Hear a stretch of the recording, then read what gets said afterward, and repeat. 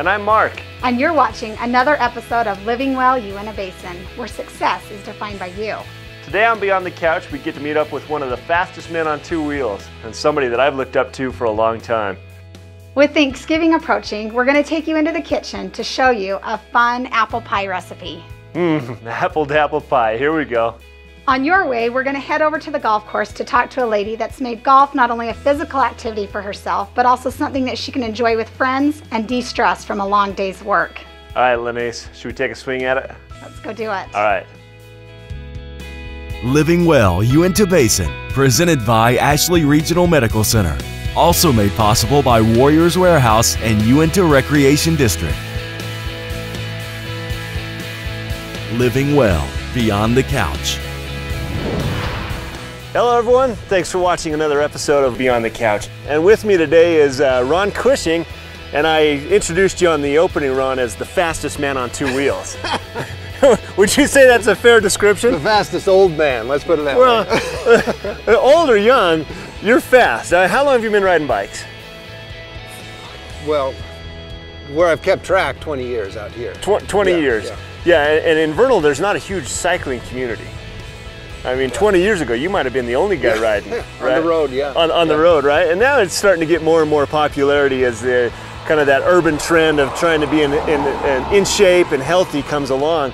But 20 years ago, it was nothing like riding the bike that you've got right there. No, a lot different. You know, yeah. 10, 10 speeds? How many speeds It was a 12 speed, yeah. 12 speed? I was up uptown. I had a 12 speed. Oh, yeah, okay. And I ended up getting a different bike when Troy at altitude just looked at it and said, I can't get parts for this anymore, you know, so well, I, had to upgrade. The, that, that was rough. The golden question is now you're, how old are you? 56. 56. And, and I met you through a, a kind of a social media app called uh, Strava. You're 56 years old. I'm, I'm 20 years younger than you. And, uh, and there's this King of the Mountain segments. That's where there's certain stretches of the road you can race against other people virtually. And, and Ron, King of the Mountain, they're all yours out here. Just almost, yeah. Almost. There, there's one that I'm still thinking about. Okay, you got you got one in mind. That's only because somebody created it yesterday and he hasn't had time to write it. But but how do you, how do you do it? What's what's the key to your success? I mean, you've been riding for 20 years. Uh, 56. Some people might say, "Oh, that's too old to be the fastest guy in Vernal on, on two wheels." You know, there's some there's some athletes out here. Well, one thing about cycling is it's, it's really generous for the older you get. It's it's not a high impact sport, and so if you if you get into it and you're you really are somewhat competitive or just like to push yourself, cycling is pretty kind in that regard. It uh, it's it's not hard on the bones, uh, so you know it's just a good motivator to get out of the office and get out on the road. Yeah, get out on the Yeah. road, right? And, and you're talking about low impact. And you know, sometimes running or uh, basketball or some of these team sports, I mean, by the time you're done playing an hour, you need three or four days to recover where you can go really hard on a bike and, and do it again the next day. Yeah, that's one of the advantages of, of the cycling. It's just uh, low impact and, and you can just keep going. Yeah. Ice your legs down after if you've gone super hard, but the next day uh, you're good to go. Go to again. And, and you talk about cycling, and I've noticed that for you, it's not only is it a personal thing that you do, but you also include your family. And, and why do you do that? Uh, well, it's a real good way to, to just spend some time doing something you both enjoy. My daughter and uh, her husband, he's now getting into it a little bit. So it's just been a good, you know, good activity for him and I to enjoy together when we come out. And, and uh, once my daughter's recovered from having a baby recently, the, you know, she'll be back into it more. And they live out in the Wasatch Front. They live out in Apple, uh, Mapleton right now. Okay, so so it's a family thing, and that's what I like about cycling. It's a lifetime sport. It's not something uh, you know you don't have to give this up at some point. You know, I know, I know there's uh, uh, guys that ride well into their 70s and probably even beyond. Yeah. Yeah. So, uh, and, and and then we get to enjoy it. Basically, it's a four-season sport too. Uh, you can Just about. Out here, sometimes December and January, if the roads are a little icy, then it's it's harder to stay after it. But generally speaking, if the roads are dry, you know, you can you can do it. So Okay, I've, I've got just to end. I've got, I've got a few questions I want. Just give me a one-word answer. Whatever the first the first thought when you think when you hear this. New paint, uh, slick. uh, King of the Mountain, hard work sometimes. I thought he was going to say mine. No, Uh, no. Favorite ride? Whew. Jones Hole. Jones Hole. Oh, that's a steep one. Yeah. Oh, that's a tough. Uh, favorite race? Uh, Mount Evans. Mount Evans. Mount Evans. Yeah. You got to climb the 14,000 feet on Mount That's Evans. right. You start at seven and end up at 14, and it's uh, all uphill. Some people don't climb 7,000 feet in a, in a year on riding. Yeah. Yeah. Well, well, Ron, I really appreciate you being on the show. The whole goal of our show is to show people the different things, the different activities you can do with yourself, with your family, and your community to stay fit and active. And you're an inspiration to us. Thanks for being on the show. Good to be here. Thank you. Having a baby is one of the most important events in your life. At Ashley Regional Medical Center, we are prepared to make that experience memorable by providing a secure and pleasant environment. When you arrive at our birthplace, you will be greeted by our award winning OB nursing staff. Their desire is to make you as comfortable as possible and to provide you with all the information you need or want. You will be placed in one of our modern birthing suites. Family members are welcome, but only with your consent. During the labor process, the nursing staff will attend to your every need and monitor your progress. Your physician will be kept up to date by the nursing staff and attend you when it's time to deliver your bundle of joy. After your delivery, you will be taken to our beautiful and relaxing post delivery rooms. Your care will still be monitored by our staff, and you and your baby will receive constant attention. Choose Ashley Regional Medical Center for your OB care. Warriors Warehouse has the preventative and natural products you need to improve your overall health. Nutritional supplements for maximum performance? We've got that too. And if you're looking for the best variety of gluten free food, the search is over. We also cater to the needs of our customers by providing individualized diet and supplement plans, skincare, and friendly professional service. We have the education and experience to answer your questions and give you first class assistance backed by our pharmacy certified Dr. Lewis. Let us show you why we're your number one source for health products. Living well, dish by dish. November and December are a big time for pies. It's one of my favorite things about those months. Today I have Mindy Smith with me, and in my eyes, she is like the pie guru. So I'm excited to have her here today.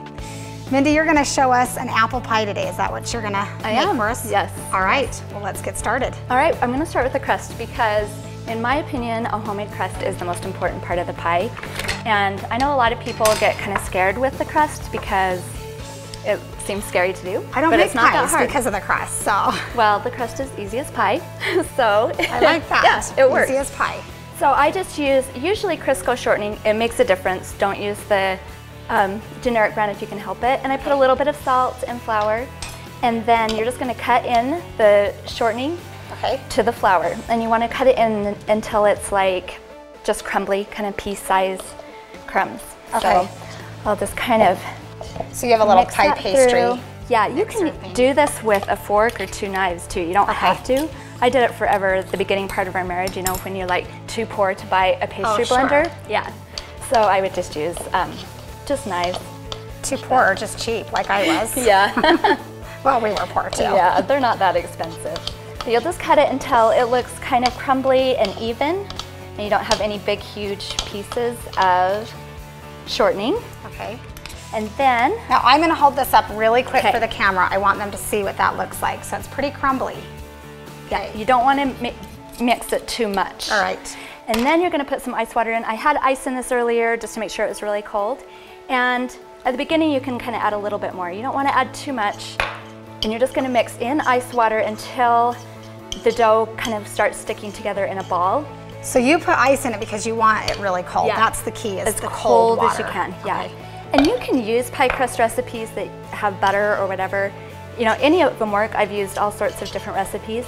Um, I like the shortening because it's a little bit flakier. But There's nothing So- better than a flaky crust. yeah, about so it looks like that. It's not really wet, but it's starting So to So you didn't use together. all the water. No. just, just until it gets Yeah. to where you want that. And you just kind of learn how to eyeball it. And if Okay. it feels too dry, you can always, or too wet, you can add more flour. If it's too dry, you can add more water. Okay. And then you're gonna roll out. I already did the bottom one, so Okay. And I will. I, I, I'm going to show how she's already got her bottom crust here ready to go. And then Just put some flour on. If you can get like a silicone thing like this to roll out on, it's so much easier. Or roll it on just some parchment paper Okay. or wax Something paper. so it doesn't stick to the yeah. counter. And also, I'll show you when I put it on how easy it is to do it if you have something that will bend. Okay. So my family loves pies. They're my husband's favorite thing. So I didn't know what to get him for Christmas last year, and I gave him Pie of the Month Club. And he says it's his favorite present that he's ever had.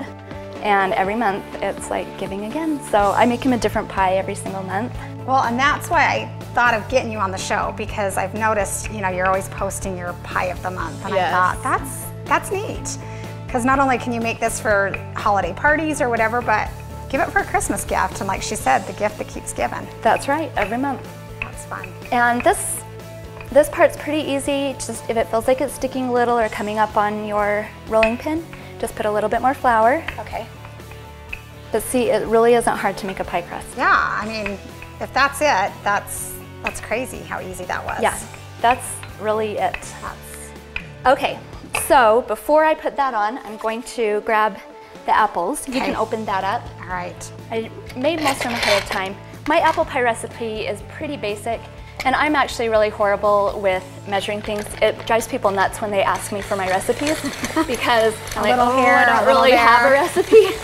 but it just goes to show you, you can just kind of put in whatever you like, and it works. Now that's So- awesome. That it Yes. slices and apple peeler core slicer, if you can get one of those, it makes them all really thin and even, so they bake much better. okay.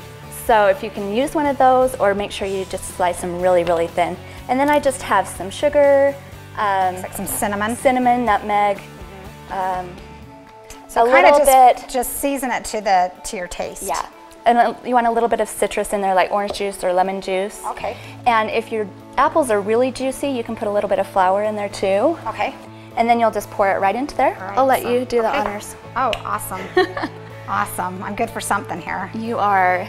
And I like a lot of apples. I like to kind of have it a little bit high. Probably not the most sanitary, but we did wash ahead of time, and I'm just going to use my fingers. I forgot to have a spoon out. Well, and I usually use my hands for everything Okay. when I cook, so so it will be just like I make them. and then I usually put a little bit of butter on the top.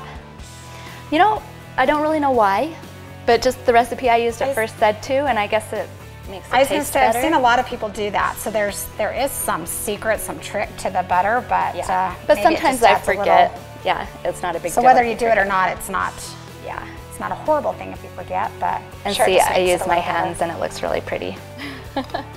okay, so here's where the magic of the silicone bottom thing comes in. You can just fold the crust right in half. Thank you. And then just fold it in half again. Oh, awesome. So when you have it in fourths, it's really easy just to put on That's top. Yeah, that makes it 10 times easier. And don't panic if you if it rips a little bit. I mean, crust is really forgiving. Just fix it, Okay. mend it, and you're fine. You can go around if you have excess, you can kind of cut it off. Sometimes I'm really lazy and my family likes crust, so I just fold it under and they just get a really thick crust. So just make sure as you're folding it under that you grab the underneath Okay. also. You're just pinching the two of them together. Yep, I'm just kind of getting them all put together first. And there's lots of different ways to do it. Like lots of people have their own signature little pinch, but I just go around like this with my uh, flour, with my Oh, so finger and knuckle. stick. Yeah, and I'm just kind of Yeah, just making a little. yeah, just making a little Edge. rope edge here. You can use a fork, you can pinch it a different way, but it's pretty easy. And then you need to vent the crust. Um, you can just cut slits or And that's an important part to remember because if you. it's got to to escape vent. somewhere and Yeah. it'll escape all along your edges into your oven if you don't do this. Okay, so you're not cutting So- slits. You're doing a little I'm doing an apple apple. because that's oh, cute. what I that's kind of my apple pie thing. So, if this you one's want, like you can do messy. something fun, or you can Yeah. just do the three slits as long as there's a way for it to vent. Right. It doesn't, you can do a picture, just slits, it doesn't matter. And then just the top crust, just so it looks really pretty and it tastes really good, just brush a little milk. And again, like I said, Never I seen use, this before. The Yeah. milk on top. I use my fingers. Okay, that goes to show how little I cook pies, but I've never seen that before. And then just sprinkle a little bit of sugar. And then it just looks really pretty when it cooks. And then all I do, my last step, I just cover that with foil and then I'll cook that for about 40, 45 minutes with foil on top. And that helps your apples get done and soft without your crust burning. Okay. Then you take the foil off and cook it the rest of the way so that the crust is brown. That's it. And serve it with ice cream. That's yeah, like one of the most important things. Eat, especially apple pie without ice cream. Yes, a la mode has to be. Okay, so I'm going to show. This is her finished, finished product here. Um, beautiful. It, it's it's decorative. It just looks great. So and you can see the little sugar and stuff on top. So thank you so much. This was so fun. You're so welcome. I, I have done a couple now from the last time we did this, and this makes me want to do even some more. So have some fun this this holiday season's making some pies. She gave a great uh, idea for maybe a Christmas gift, and just go try it out. Thanks again. You're welcome. Thank you.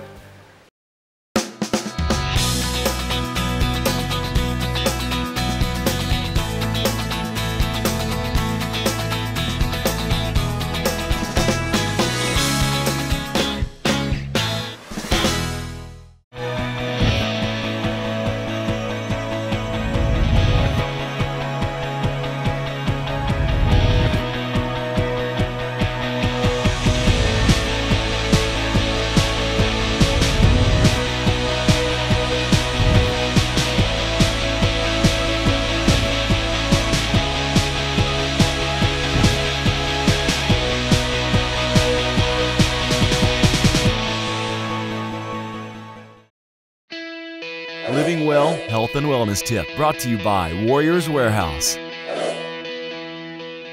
Glutamine is an important amino acid. It makes up about 50% of muscle tissue and is used by the digestive tract for immune health. So since glutamine is used by the intestinal tract, one way that you can uh, improve the delivery to your muscle tissue for recovery is to choose um, the trans-allanoglutamine. Um, when you use glutamine for recovery purposes, you'll want to use 5 to 10 grams three times a day with one of those doses being directly after your workout.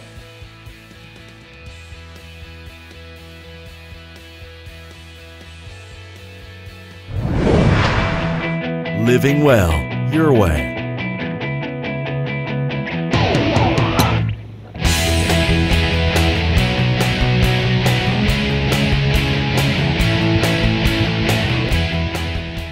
Your Way is your story on what you do to live a more well-rounded and enjoyable life.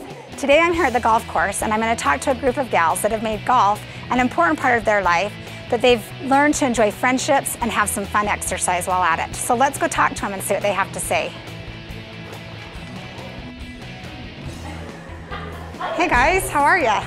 Good, how are you? Good. Good. We're here to talk about you guys though. Okay. Golfing. I want to hear all about it. This is something that you guys do quite often together.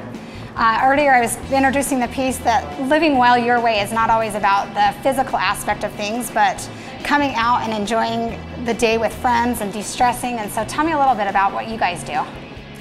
Well, we like to get together as friends and we golf. We love to golf together. Um, we get together about two or three times a week, most of the time three times a week. Um, sometimes, most of the time in the morning, and then we golf on Tuesday evenings as well together with the Women's League.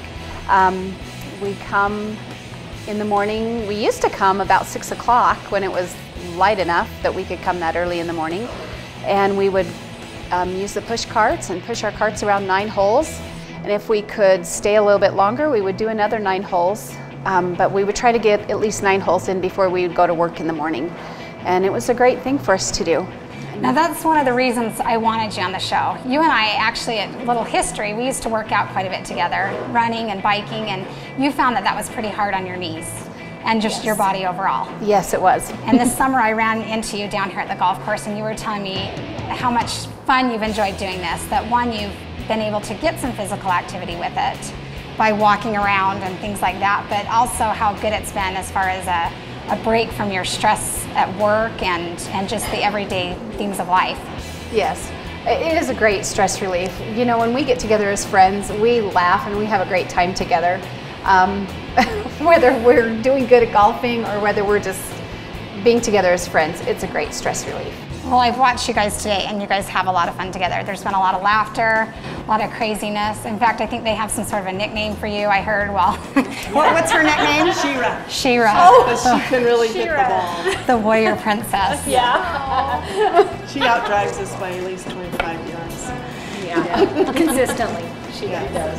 And it has been fun. You know, in the in the past years, I've had other women ask me to join ladies golf, and I didn't think I was a good enough golfer to do that. But you don't have to be. And and we've had a blast. We've had so much fun and laughed. And it doesn't matter whether you golf well. It's just getting here, and we schedule it so that we actually do it, so we get to see each other. We all went to high school Fun. together. Oh, that's fun. And so we've stayed in contact over lunch, you know, on a regular basis. And then we all started golfing together. Well, and I think it's helped bring us closer. It really has renewed that friendship that we we had with one another and and made it stronger. Well, and I think you have to have that, especially women. We, we have to have that friendship. Men, I don't think have to have it as much as, as we women do. So it's just something we can, I, I don't know, there's just some strength in friendship that it provides us.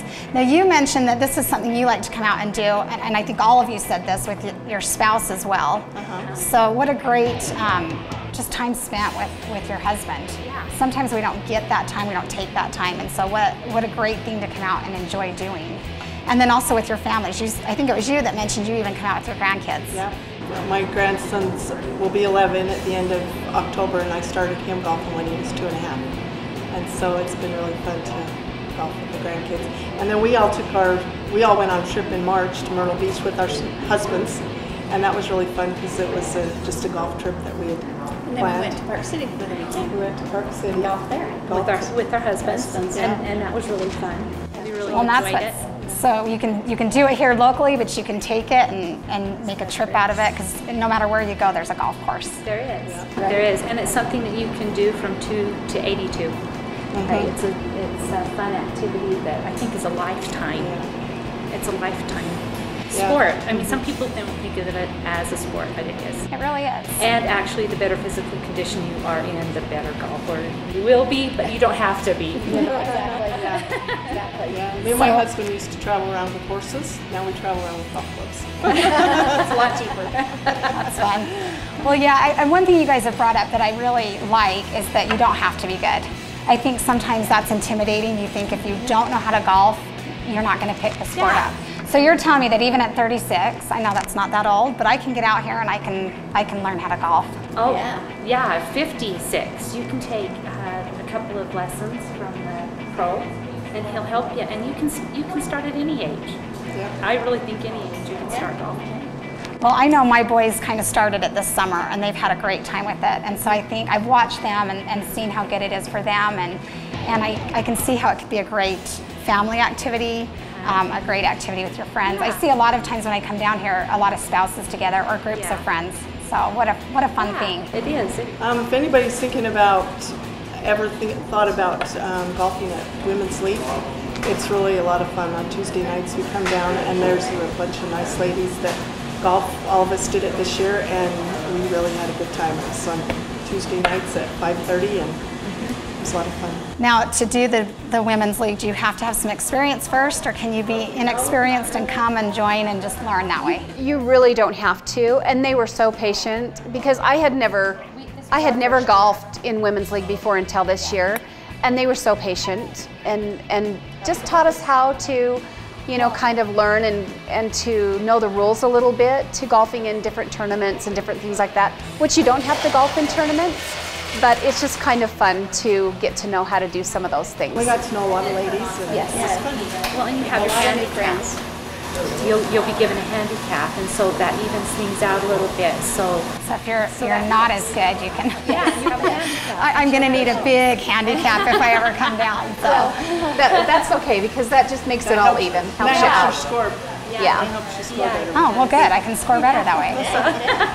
Well, I really appreciate you guys coming out and, and showing us a little bit about the game of golf and showing us that, again, it's not just about physical activity, but even though you are getting that while you're here on the golf course, but it's just a well-rounded just way to come out and, and better your life through friendships and just laughter and having a great time. It's So a great thing to do. I, It's a great thing to do, and I'm glad I did it. Well, I appreciate you guys.